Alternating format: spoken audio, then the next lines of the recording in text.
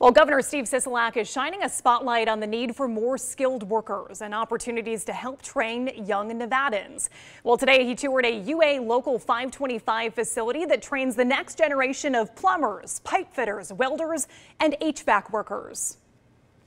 And I've said long ago when I was on the Board of Regents, every kid doesn't need to go to college. This is a place where a kid can go. He doesn't have this enormous tuition that you have going into uh, CSN or UNR or UNLV or whatever it might be. Uh, you get to earn while you're learning and you know, get on the job and you're learning firsthand. You can learn so much out of a book. According to the governor, there are fewer than 200 students in five-year programs right now.